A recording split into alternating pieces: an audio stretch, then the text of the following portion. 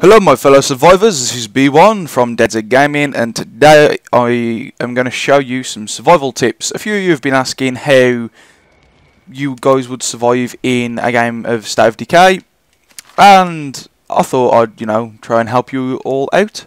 So first things first, uh, I am actually on the last mission of the game, so I have accrued some quite a lot of resources right at the moment. My morale's quite low because the character just died, but other than that, first character to die throughout the whole game, which I'm pretty happy about. Right, before you do anything, when you are in your base, you need to select what things you're going to take with you.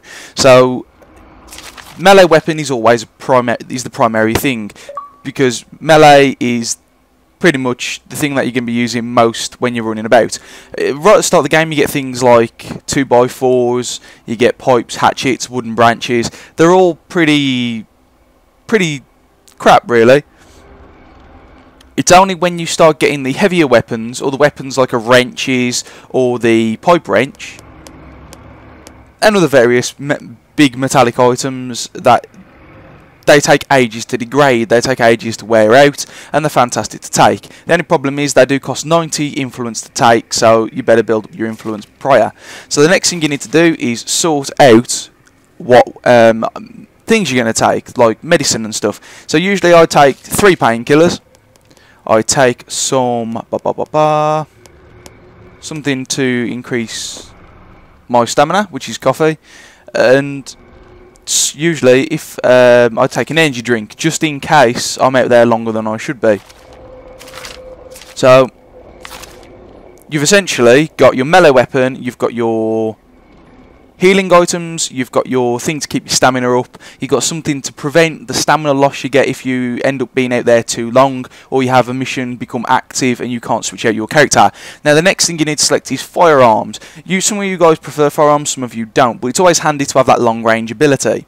So it depends on really what you want to go for. I mean, you can equip a submachine gun and spray and pray. You can pick an assault rifle and you know, daka daka daka, everything. You can snipe rifles, fantastic for long range, or shotguns, which are great for close range and blowing enemies up. So, what we're going to do, let's say, let's take a shotgun, we'll take the A-Series Mod 1, and then you need to take some ammo, so I'd say take 30 rounds, just because shotguns don't really go, don't really go through ammo that much. Shotguns are really mainly there for knocking enemies down if they're chasing you. Occasionally you can you can kill an enemy with a headshot because of the spread. But that's basically it. So it's night time in my game, which isn't too bad. Could be a lot worse. Uh, another survival tip, guys, is when you set up your main base, always make sure that you put outposts around it. Uh, I'm currently in the storage the truck storage facility. That is one home base. Uh, I'll show you the other home bases I currently know. You have the police, well, not the police department. You have a house here, which is the Savini residence, which is the one uh, the one gentleman asks you to check asks you to check out. I want to offer them a hand. Uh, the next one is up here. If I can find it. Uh, it is a house around this area. I do believe it was that one, but um, survivors have other survivors took over that home in my game, so I don't think I can use it. But um, that is another house there. You have the warden's camp right at the top here, but that is that is only small and really only a training tra training area. And there are a couple of others. Uh, I think you can actually occupy the gas station area around here with the dinosaurs and stuff. But as far as uh, from what I can tell, this place here is the best place to go.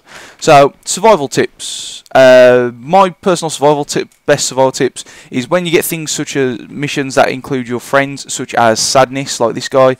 Talk to Ed Jones, let's go for a walk. Always solve problems in your base first. And always make sure that everybody's happy. For the sole fact being that if your morale drops, people will start to leave, which will make life a lot more difficult. Hey, come on. Also, another thing is fully upgrade your watchtower.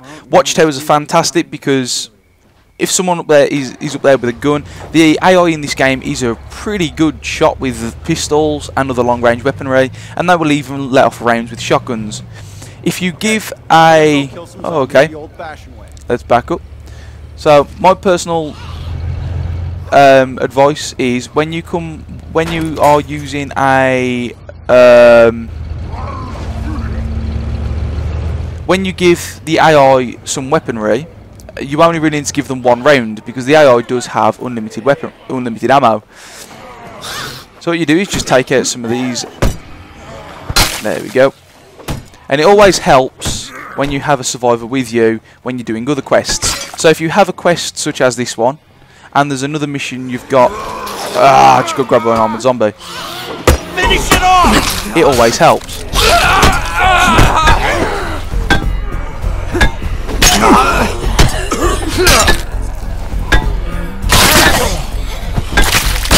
So a thing about combat as well. When you're in combat and by a zombie, if you press A, you normally jump. But what you'll do is a jumping attack, I will show you now. If you tap A, you'll do a jumping attack. If you press Y, you'll do a kick, and if you press X, you'll do a you'll you'll do a punch. If you hold the left bumper and hold X, you do an overhead swing. If you press A, you'll do a drop kick, and try not to get bitten by an armored zombie. As you can see, I'm doing quite terrible at the moment.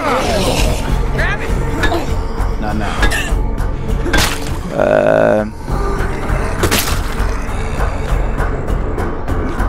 right, so let's take some painkillers. Painkillers take a while to work, but if you hold that and press Y, you do a push.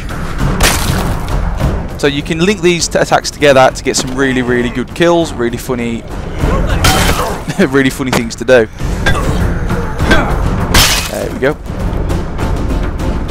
So melee isn't just tapping X, you can use other abilities, uh, things such as drop kicks are fantastic for knocking enemies over. Uh, if you tap the left bumper and Y, that push attack is great for getting enemies up like this, allowing you to do a finisher where you crush the jaw, very um, Walking Dead-like with Michonne. Um, but yeah, basically do missions in your base first because they are the most important. Those are the things you need to keep your morale up. You need to keep people interested in staying at your home base. Because if people run off, we got this place locked down. They'll die. They'll, and they'll, they'll, you know, there will be problems. So what we get? So this guy's mission is done. So we need to head back to home base, and that will increase our morale.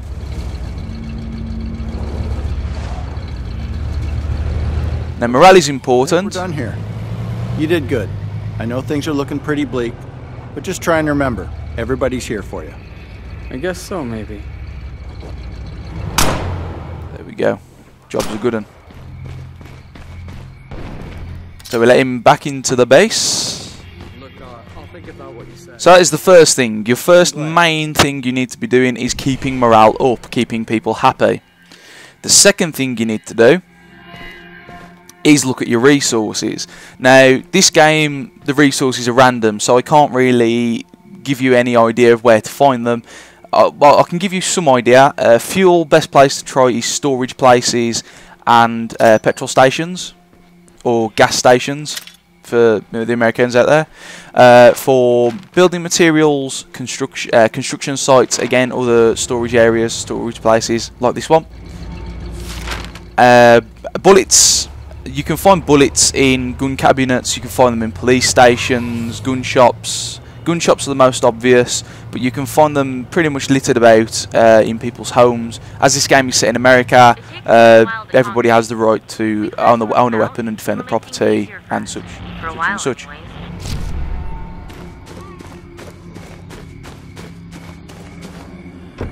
I've got a Z coming after me from here. We're clear. Another thing I'd like to discuss is the map. Right, so when you are running about, well, just normally jogging about, there isn't a circle, or there's a really small circle that you can't really see. Now, this is how much noise you're making. The longer you hold... Oh, okay, that was loud. Uh, one thing I found out that if you do something that's very loud, uh, zombies will arrive no matter how many are around you. So this is the best thing to do, is just get away. Just get in a car and try and get as much distance as possible possible between you. Uh, cars are fantastic in this game. They're really easy to drive, really easy to manoeuvre, and to just they're great battering rams. Uh, I will warn you uh, when you are using vehicles such as cars and stuff. If you hit the zombies dead on with the front of your car, uh, it will damage the engine and can actually cause an explosion, which will attract more zombies. So I usually find the best thing to do is sideswipe and then just reverse and drive all over the bodies. Now, I've just been given a mission about hordes getting too close to the to the house. So the whole aim of this is just to run them over. It increases happiness uh, because people are going to be a bit more safe. Now, if I had a door, um, best thing to do is open the door when you are driving towards a horde. It'll, it'll allow you to catch a couple more enemies, and also if you use your door rather than the front of your car, um, there's less chance of your car actually getting that damaged. So that's a bit on vehicles. Now, next thing we'll talk about is survivors. Now, the more survivors in your game, the better. Uh, some of the requirements for various things in your home, if I go in here, is uh, they require certain things. So, if I get to my... There we go.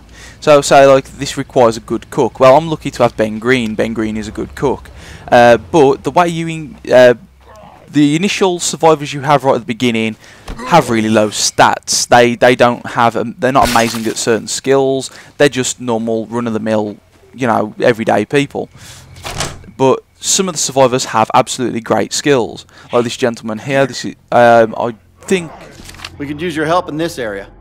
What do you think? Okay, so this is a hunting mission. So you, you, you do missions like this to help out. Um, help out find enemies and stuff. Well, find out enemies, you, you know what I mean. Um, build trust. Uh, it's also a good introduction to various zombies. Obviously, AI is good at shooting, but terrible at actually getting into cars. So what I usually find with these is if you just drive by the buildings and pop your horn, you can uh, normally see what's out there.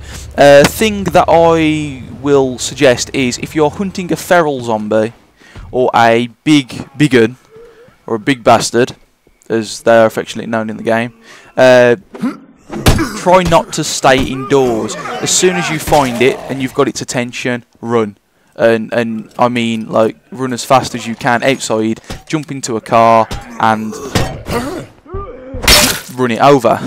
if it's a big one, obviously you can't run it over, but fire as much as you can at it and just try and try and blast it to death. So it says that you have to check all the rooms. So what we'll do is we'll just have a quick check. Uh, these things here, the uh, cardboard boxes and other various things, these are usually a good thing for materials. As you can see, I've just picked up some materials from that. Uh, it doesn't hurt carrying materials, but it does make a big circle of bit a, a, larger circle of noise, which can attract more Zeds, which is always which is not fun. Uh, best way to majority of the time, the best way to do it is to sprint, to run, to hide, and get back to your home base as fast as possible. Uh, because the last thing you want is to be carrying a huge, massive bag. That's it. Right, so we found an army zombie. Oh, okay, we've got a feral. Okay, ferals usually are a pain. As soon as you knock them down, what you want to do is finish them off. Now, I made that look quite simple, but not uh, when you first fight them, they are a pain. Right, so what I'm going to do is I'm going to drink some coffee. Can I drink coffee? I keep forgetting the buttons. Okay. Now I thought coffee was there to uh, increase your stamina once you when you've used got it, but obviously it's not. So we've killed fer the feral zombie and we've killed the army zombie we're after as well.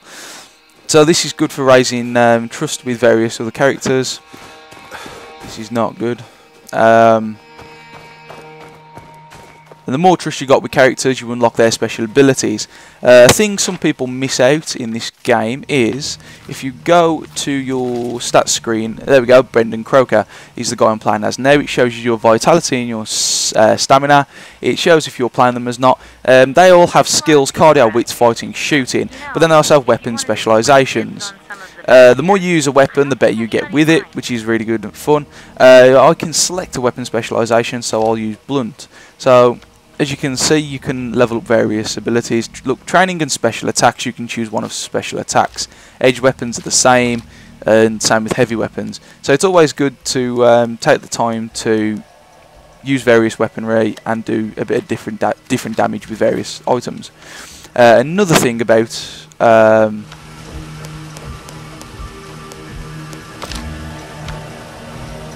so as you can see, requires blunt weapon level four. Um, right. Okay, that won't let me go down any further.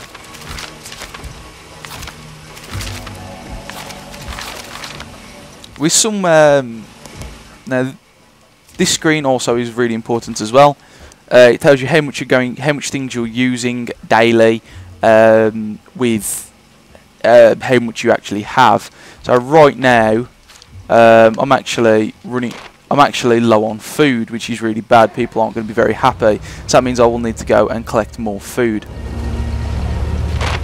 Because each day it goes down by a certain amount. I've got the maximum amount of survivors. I think the maximum amount is 15. I'm not entirely sure. But uh, the more survivors you have, the more food you'll use, meaning that you'll have to go out on more scavenging missions. Uh, if you put out posts on places like this, uh, industrial stores, fast food restaurants and stuff, uh, materials there will keep on generating for a certain amount of time. That It's not infinite, uh, they will run out. But it's just one of the things that you can do to okay, keep to I'm keep free and clear. See you soon. you know to keep keep everybody happy. Hold one for you.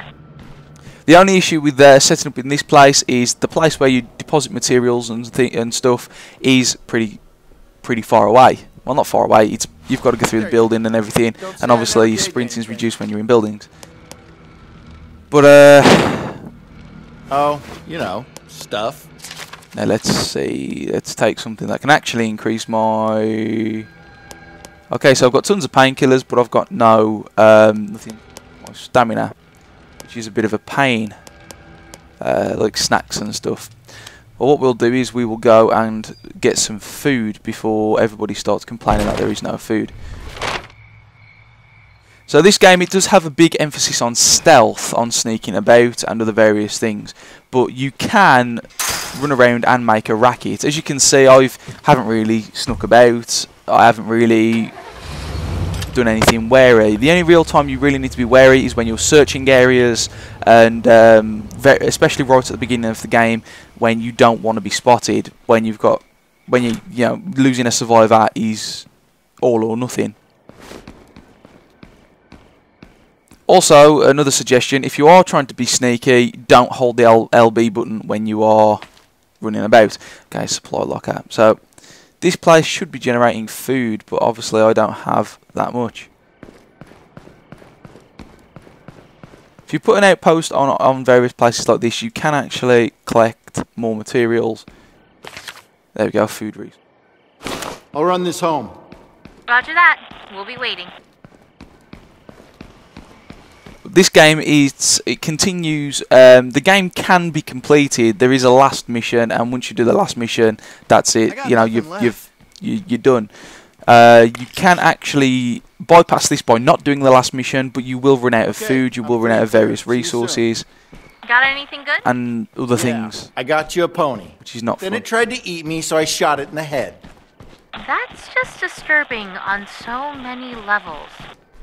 So right now we've got a danger Biggins sighted. Now Biggins are a real pain in the done. arse. They are a big fat zombie. Now these aren't Oh, these aren't the nicest thing to oh. fight. They can actually be really annoying. Okay, so I've just dropped off some food. As you can see, I do have a garden, but gardens don't mean that you're going to always produce tons of food, which is a bit of a pain. Now I wonder if I so you can upgrade various things, like my garden, I can upgrade it to a greenhouse, but I need more materials. But I've got no ammo left in my base to do trades, and I have low food. So it's always a hit and miss of what you need against, you know, what you should. Yeah, it's a decision basically. You need to choose whether you want food or if you need materials or the game never really stops. You've never really got enough of something uh, to not worry about it. So, here.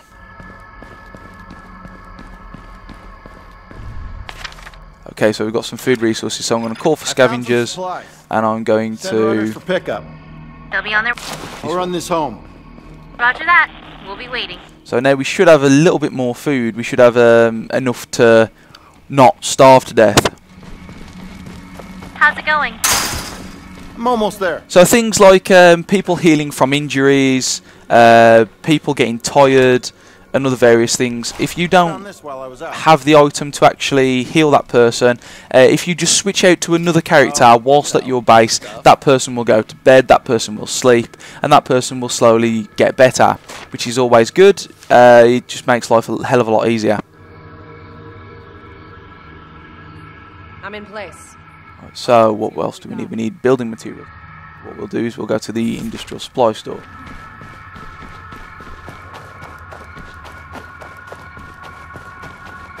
So as you can see, I, I don't really, I, you know, I sprint a lot. I don't really use stealth much. Uh, there's occasional times I will use stealth when in buildings when I don't want to attract any attention. But really, especially this far in the game, uh, you can actually do it be a bit free. Uh, outposts are fantastic for keeping areas Z free. This is good because there's less zombies in those certain areas. You will occasionally come across the occasional Z or the occasional walker, uh, but you can act, but it's a lot less scary because there's only one.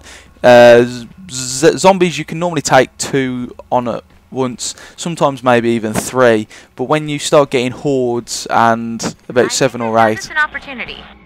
You'll find it on your map. It The more gets infestations there are, the more dangerous the streets get. it gets difficult. Right, so we've got an infestation mission. Now, I did do a guide on how to clear infestations, so if you guys want to check that out, that'd be great. Great. I also did a tutorial on how to take out uh, hordes. So if you want to look at those videos, that'd be grand. It'd be nice for you to like and subscribe if you look at those and you like my channel. But um, yeah, that's about it. Uh, quick recap. Stealth isn't mandatory. You can use it pretty much when and where you need it.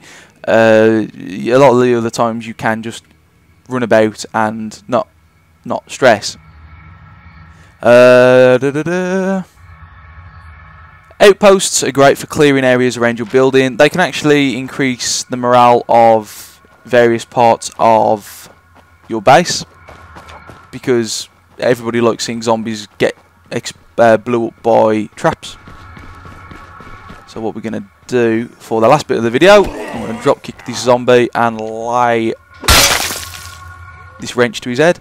So there is a lovely, lovely swarm over there. So this will be the end of the video. I hope you guys enjoyed my video.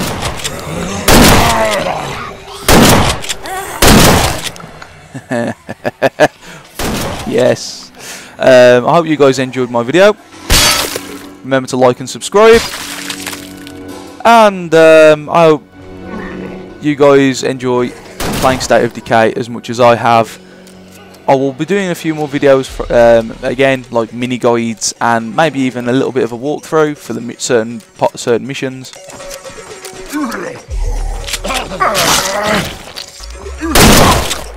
Okay, so without further ado, this is B1 signing off.